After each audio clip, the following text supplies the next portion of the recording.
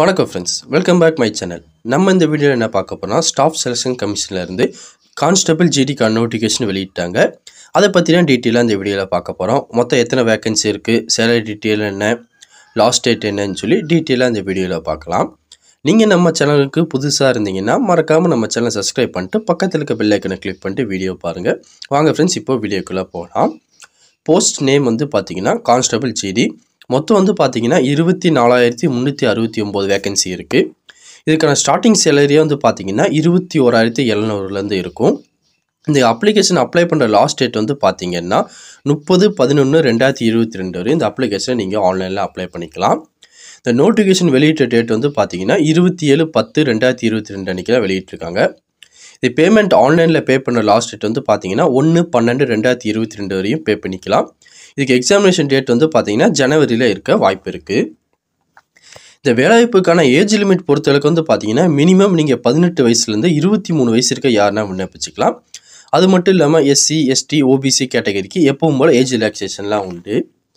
இந்த வேலைவாய்ப்புக்கான application fees பொறுத்தளவுக்கு வந்து பார்த்தீங்கன்னா யூஆர் ஓபிசி கேட்டகரி ஒரு நூறுரூவா ஃபீஸ் பே பண்ணுற மாதிரி இருக்கும். அதுக்கப்புறம் SC ST female category ex servicemen இவங்களாம் வந்து பார்த்தீங்கன்னா எந்த ஒரு ஃபீஸும் பே பண்ண வேண்டாம். இந்த எக்ஸாமினேஷன் ஃபீஸ் எல்லாமே வந்து பார்த்தீங்கன்னா நீங்கள் ஆன்லைனில் பே பண்ணுற மாதிரி இருக்கும். இந்த வேலைவாய்ப்புக்கான எஜுகேஷன் குவாலிஃபிகேஷன் பொறுத்தளவுக்கு வந்து பார்த்தீங்கன்னா நீங்கள் matriculation or tenth class pass ஆகிருந்தாலே போதும். இந்த வேலைவாய்ப்புக்கு நீங்கள் அழகாக அப்ளை பண்ணிக்கலாம். அதுக்கு மேலே நீங்கள் டுவெல்த்து டிகிரி டிப்ளமோ என்ன முடிச்சுதான் சரி இந்த ஜாப் கேட்டகரிக்கு நீங்கள் அப்ளை பண்ணிக்கலாம்.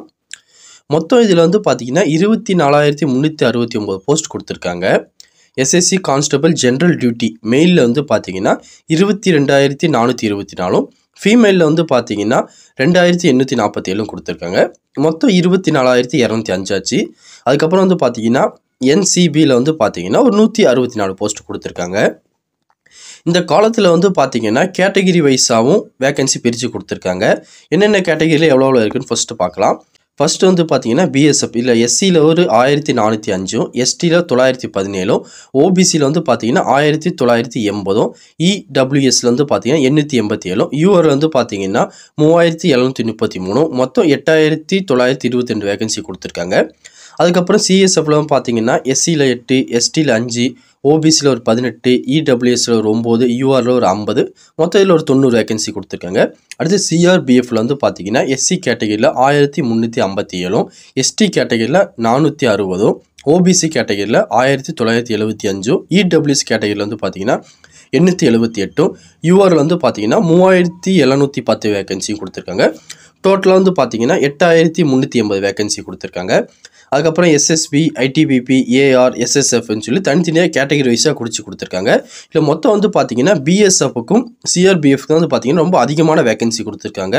உங்கள் கேட்டகரியில் வேகன்சி அதிகமாக இருந்துச்சுன்னா அந்த கேட்டகரி செலக்ட் பண்ணி நீங்கள் அப்ளை பண்ணிக்கோங்க. அதுக்கப்புறம் வந்து பார்த்தீங்கன்னா ஃபீமேல் கேட்டகரியும் அதே மாதிரி பிஎஸ்எஃப்க்கு எவ்வளோ சிஎஸ்எஃப்க்கு எவ்வளோ சிஆர்பிஎஃப்க்கு எவ்வளோன்னு சொல்லி தனித்தனியாக கொடுத்துருக்காங்க. இந்த காலத்தில் இருக்குது ஒன்ஸ் நீங்கள் செக் பண்ணி பார்த்துட்டு உங்கள் கேட்டகரியில் வேகன்சி அதிகமாக இருந்துச்சு அந்த கேட்டகரி நீங்கள் அப்ளை பண்ணிக்கோங்க. இந்த எஸ்எஸ்சி கான்ஸ்டபிள் ஜிடி பொறுத்தளவுக்கு வந்து பார்த்தீங்கன்னா இந்த வேலைவாய்ப்புக்கான செலக்ஷன் ப்ராசஸ் ஃபர்ஸ்ட் வந்து பார்த்தீங்கன்னா சிபிடி கம்ப்யூட்டர் பேஸ்ட் எக்ஸாமினேஷன் நடத்துவாங்க. அதுக்கப்புறம் பிஇடி பிஎஸ்டி மெடிக்கல் அதுக்கப்புறம் டாக்குமெண்ட் வெரிஃபிகேஷன் எல்லாமே இருக்கும். ஃபர்ஸ்ட் வந்து பார்த்தீங்கன்னா கம்ப்யூட்டர் பேஸ்ட் எக்ஸாமினேஷனோட ஃபார்மெட் பார்க்கலாம்.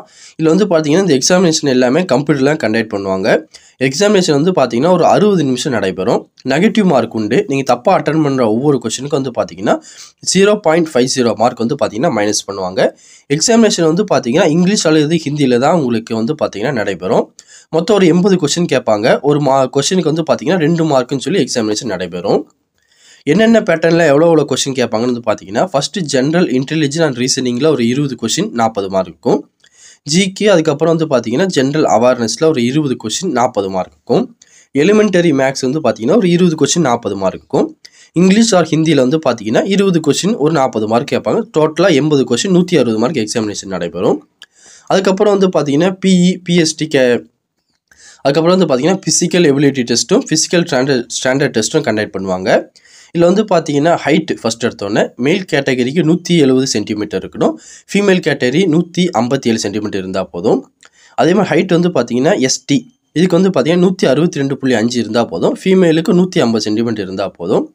செஸ்ட் அதே மாதிரி வந்து பார்த்தீங்கன்னா யூஆர் ஓபிசி எஸ்சிக்கு வந்து பார்த்தீங்கன்னா எண்பது டு எண்பத்தஞ்சு. எஸ்டிக்கு வந்து பார்த்தீங்கன்னா எழுபத்தி ஆறு டு எண்பத்தொரு சென்டிமீட்டர் இருந்தால் போதும். அதே மாதிரி வந்து பார்த்தீங்கன்னா ரன்னிங் வந்து பார்த்தீங்கன்னா மேல் கேண்டிடேட்டுக்கு அஞ்சு கிலோமீட்டர் இருபத்தி நாலு நிமிஷத்தில் முடிக்கணும். ஃபீமேலுக்கு வந்து பார்த்தீங்கன்னா ஒன்று புள்ளி ஆறு கிலோமீட்டர் எட்டரை நிமிஷத்தில் முடிக்கிற மாதிரி இருக்கும். இந்த வேலைவாய்ப்புக்கான எக்ஸாமினேஷன் பேட்டர்னுக்கான சிலபஸ்லாம் கொடுத்துருக்காங்க. ஜென்ரல் இன்டெலிஜென்ட் ரீசனிங் எந்த மாதிரி கொஷின்லாம் வரும்? அதுமாதிரி ஜிகே ஜிகே அவேர்னஸில் என்னென்ன கொஷின் வரும்? எலிமெண்டரி மேக்ஸில் எப்படி வரும்? அதுக்கப்புறம் இங்கிலீஷில் என்னென்ன மாதிரி கொஷின் வரும்? அப்படின்னு சொல்லி பேட்டர்ன் எல்லாமே கொடுத்துருக்காங்க. ஒன்ஸ் நீங்கள் செக் பண்ணி பார்த்துட்டு அதுக்கேற்ற மாதிரி நீங்கள் ப்ரிப்பேர் ஆகிக்கோங்க அதுக்கப்புறம் வந்து பார்த்தீங்கன்னா இந்த அப்ளிகேஷன் ஆன்லைனில் அப்ளை பண்ணுற லிங்க் நோட்டிஃபிகேஷன் லிங்க் எல்லாமே நான் கீழே டிஸ்கிரிப்ஷனில் அப்டேட் பண்ணியிருக்கேன். தேவைப்பட்டால் நீங்கள் போய் டவுன்லோட் பண்ணி அதை ஃபஸ்ட்டு படித்து பாருங்கள் படித்து பார்த்துட்டு விருப்பம் தகுதி இருக்கவங்க ஆன்லைனில் அப்ளை பண்ணிக்கோங்க. இப்போ ஆன்லைனில் எப்படி அப்ளை பண்ணுன்னு சொல்லி சும்மா சாம்பிளாக பார்க்கலாம். இன்னும் அப்ளிகேஷன் வந்து அவங்க ஓப்பன் பண்ணலை. ஓப்பன் பண்ணதுக்கப்புறம் எப்படி அப்ளை பண்ணுற ஃபுல் வீடியோ நம்ம சேனலில் போடுவோம். மறக்காமல் செக் பண்ணி பார்த்துட்டு அதுக்கப்புறம் நீங்கள் அப்ளை பண்ண ஆரம்பிக்கலாம். இப்போ சாம்பிளாக எப்படி அதை அப்ளை பண்ணுறதுன்னு சொல்லி நம்ம பார்க்கலாம். ஃபஸ்ட்டு வந்து பார்த்தீங்கன்னா அவங்க எஸ்எஸ்சி வெப்சைட்டில் போய் நீங்கள் லாகின் பண்ணதுக்கப்புறமே இப்படி தான் ஒரு பேசிக் டீட்டெயில்ஸ் ஒரு பேஜ் ஓப்பன் ஆகும்.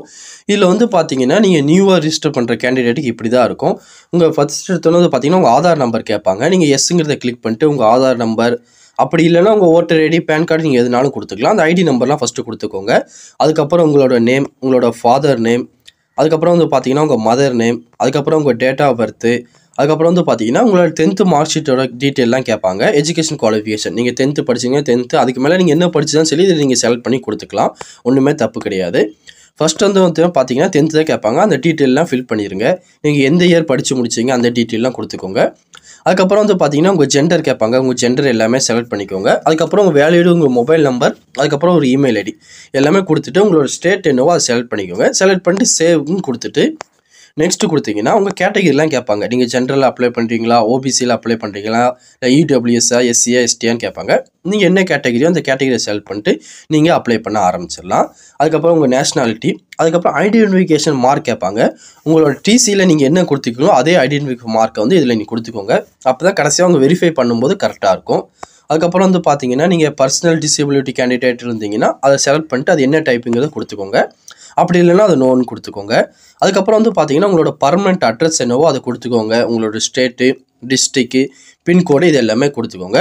கொடுத்துட்டு சேவ் அண்ட் நெக்ஸ்ட்டுங்கிறத கிளிக் பண்ணிடுங்க கிளிக் பண்ணதுக்கப்புறம் வந்து பார்த்தீங்கன்னா ஒரு டிக்ளரேஷன் கேட்பாங்க. அந்த டிக்ளரேஷன் நீங்கள் படித்து பார்த்து டிக் பண்ணிவிட்டு நீங்கள் ஃபைனல் சப்மிட்டுன்னு கொடுத்தீங்கன்னா ஃபஸ்ட்டு உங்கள் அப்ளிகேஷன் வந்து பார்த்தீங்கன்னா அதில் ரிஜிஸ்டர் ஆயிரும். ரிஜிஸ்டர் ஆனதுக்கப்புறம் வந்து பார்த்தீங்கன்னா நீங்கள் பார்ட் டூ அப்ளிகேஷன் அதாவது வந்து பார்த்தீங்கன்னா இப்போ கரண்ட்டாக ஓப்பன் இருக்க அப்ளிகேஷன் வந்து பார்த்தீங்கன்னா நீங்கள் ஃபில் பண்ணி அப்ளை பண்ணுற மாதிரி இருக்கும். அதை எப்படி அப்ளை பண்ணணும் சில இன்ஸ்ட்ரக்ஷன் கொடுத்துருக்காங்க. ஒன்ஸ் நீங்கள் இதை படித்து பாருங்கள் படித்து பார்த்துட்டு உங்கள் ஃபோட்டோ சைன் சிக்னேச்சர்லாம் அதுக்கேற்ற மாதிரி நீங்கள் எடிட் பண்ணி எடுத்துக்கோங்க.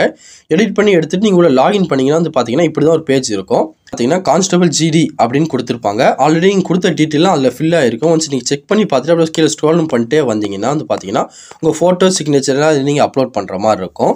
ஃபர்ஸ்ட் இடத்துல வந்து பார்த்தீங்கன்னா இதில் என்சிசி கேட்பாங்க. நீங்கள் வச்சுருந்தீங்கன்னா எஸ் கொடுங்க இல்லைனா நோ கொடுத்துக்கோங்க. அதுக்கப்புறம் வந்து பார்த்தீங்கன்னா உங்கள் எக்ஸாமினேஷன் சென்டர் கேட்பாங்க. உங்களுக்கு நியரஸ்ட்டாக என்ன எக்ஸாமினேஷன் சென்டர் இருக்கோ அந்த மூணு சென்டரை நீங்கள் செலக்ட் பண்ணிக்கோங்க. அதுக்கப்புறம் திருப்பி உங்கள் ஸ்டேட் கேட்பாங்க அதை செலக்ட் பண்ணிக்கோங்க. அதுக்கப்புறம் வந்து பார்த்தீங்கன்னா உங்கள் ஒரிஜினல் ஸ்டேட் என்னென்னு கேட்பாங்க. அது எல்லாமே நீங்கள் கொடுத்துட்டு கீழே வந்தீங்கன்னா உங்கள் ப்ரிஃபரன்ஸ் கேட்பாங்க. இதுதான் முக்கியமானது. உங்களுக்கு சிஆர்பிஎஃப் ஃபஸ்ட்டில் வேணுமா சிஎஸ்எஃப் வேணுமா இல்லை பிஎஸ்எஃப் வேணுமா எஸ்எஸ்பி வேணுமான்னு சொல்லி என்ன வேலைவாய்ப்பு வந்து பார்த்தீங்கன்னா நீங்கள் ஹை மார்க் எடுத்தீங்க அப்படின்னா உங்களுக்கு எது வேணும்னு சொல்லி செலக்ட் பண்ண கேட்பாங்க. நீங்கள் என்னென்ன போஸ்ட் விருப்பப்படுறீங்களோ அந்த போஸ்ட் வந்து பார்த்தீங்கன்னா அந்த ரெண்டு பாக்ஸையும் செலக்ட் பண்ணிக்கோங்க. செலக்ட் பண்ணி முடிச்சுட்டு கீழே வந்து பார்த்தீங்கன்னா உங்கள் ஹையஸ்ட் எஜுகேஷன் குவாலிஃபிகேஷன் என்னன்னு கேட்பாங்க. அதையும் செலக்ட் பண்ணிக்கோங்க. அதுக்கப்புறம் வந்து பார்த்தீங்கன்னா நீங்கள் எந்த இயர் படித்து முடிச்சிங்க அந்த ஸ்டேட்டஸ்லாம் கேட்பாங்க. அதெல்லாம் ஒன்ஸ் நீங்கள் டீட்டெயிலாக கொடுத்துக்கோங்க. கொடுத்து முடிச்சப்போ கீழே ஸ்க்ரோல் டவுன் பண்ணிட்டே வந்தீங்கன்னா அடுத்த ஸ்டெப் வந்து பார்த்தீங்கன்னா உங்கள் ஃபோட்டோ சிக்னேச்சர் அப்லோட் பண்ணுற மாதிரி இருக்கும். இதில் வந்து ஃபோட்டோ வந்து பார்த்தீங்கன்னா இருபது ஜூலை ரெண்டாயிரத்தி இருபத்தி ரெண்டுக்கு அப்புறம் எடுத்த ஃபோட்டோவாக இருக்குன்னு சொல்லியிருக்காங்க. லாஸ்ட்டு த்ரீ மந்த்துக்குள்ளே எடுத்த ஃபோட்டோவாக இருக்கணும். இதுக்கு வந்து பார்த்தீங்கன்னா ஃபோட்டோ சைஸ் இருபதுலேருந்து ஐம்பது கேபிக்குள்ளே இருக்கணும். அதே மாதிரி சைனும் வந்து பார்த்தீங்கன்னா பத்துலேருந்து இருபது கேபிக்குள்ளே இருக்க மாதிரி இருக்கும். ரெண்டுமே நீங்கள் அப்லோட் பண்ணிவிட்டு கீழே வந்து பார்த்தீங்கன்னா இருபது ஜூலைக்கு அப்புறம் எடுத்த ஃபோட்டோவான்னு கேட்பாங்க. எஸ்ஸுங்கிறத கொடுத்துருங்க.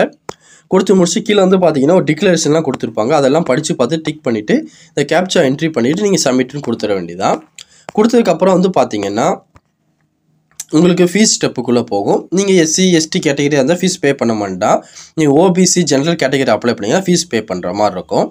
இங்கே வந்து பார்த்தீங்கன்னா ஃபோட்டோகிராஃபுக்கு வந்து பார்த்தீங்கன்னா சாம்பிள் இமேஜ் கொடுத்துருக்காங்க. இந்த மாதிரி கரெக்டான இதாக தான் இருக்கணும். உங்களுக்கு வேறு மாதிரி இருந்துச்சுன்னா உங்களோட ஃபோட்டோகிராஃப் வந்து கண்டிப்பாக ரிஜெக்ட் பண்ணிடுவாங்க அதுக்காக ஒரு எக்ஸாம்பிளுக்கு தான் அந்த ஃபோட்டோலாம் காட்டியிருக்காங்க. ஒன்ஸ் நீங்கள் பார்த்துட்டு அந்த மாதிரி ஃபோட்டோவை நீங்கள் வந்து எடுத்து யூஸ் பண்ணிக்கோங்க. இப்படி தான் ஈஸியாகவே நீங்கள் இந்த அப்ளிகேஷன் ஆன்லைனில் அப்ளை பண்ணிக்கலாம். உங்களுக்கு வேறு எதுவும் டவுட் இருந்தாலும் கீழே கமெண்ட் செக்ஷன் சொல்லுங்கள் கண்டிப்பாக உங்களுக்கு நான் கிளியர் பண்ணி தரேன். இந்த வீடியோ கண்டிப்பாக உங்களுக்கு யூஸ்ஃபுல்லாக இருக்கும்னு நினைக்கிறேன். தெரியாதவங்க ஃப்ரெண்ட்ஸுக்கு இந்த வீடியோ ஷேர் பண்ணுங்கள் பிடிச்சிருந்தா லைக் பண்ணுங்கள் அடுத்த ஒரு வீடியோ சந்திக்கலாம். Thank you and bye bye friends